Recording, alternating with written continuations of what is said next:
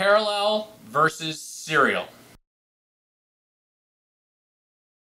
A lot of people think that because serial ATA, SATA, replaced parallel ATA, PATA, which was also sometimes called IDE, that serial is always better than parallel.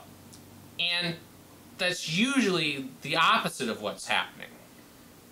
Serial means that you do things in the order that they are assigned to you.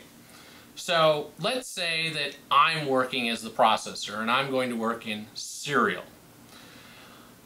I would say today I'm going to mop the floor, make cupcakes, and shoot some videos.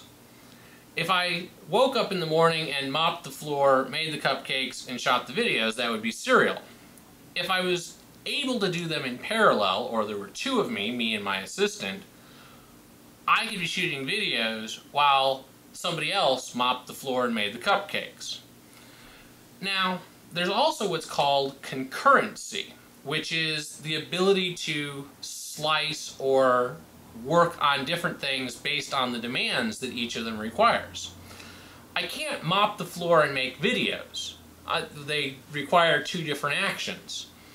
But cupcakes spend eight minutes at a time baking. So I can mix the batter, put them into the pans, put them in the oven, and during the eight minutes that it's baking, I can step over here, make a video. The timer will tick away, and when the alarm goes off, I switch from making videos to making cupcakes. And if I don't do that, if I just continue to make the videos, my cupcakes burn.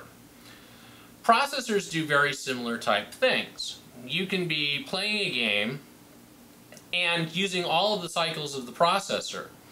But in the background, Windows Update is running and is slowly sucking down the bytes for a file in your spare CPU cycles. You're not using 100% of the CPU cycles all the time. And the network reads come from a different part of the processor in I.O. than the core CPU that's doing the calculations for your game. So you can have concurrency.